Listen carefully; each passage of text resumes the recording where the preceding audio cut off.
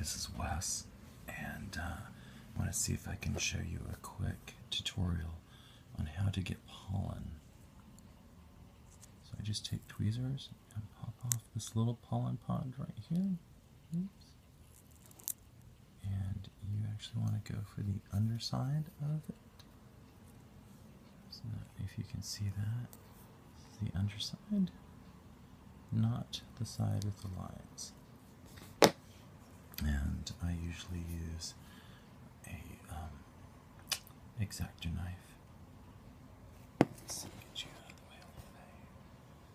And uh, you just want to kind of press gently on the back.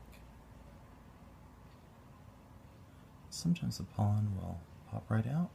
You see that? It's like magic. So now you just take the fresh pollen and you transfer it directly your balsam. And that's it.